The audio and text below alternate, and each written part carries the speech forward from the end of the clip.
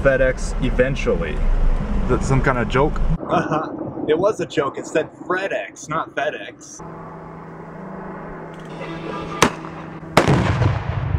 Yes!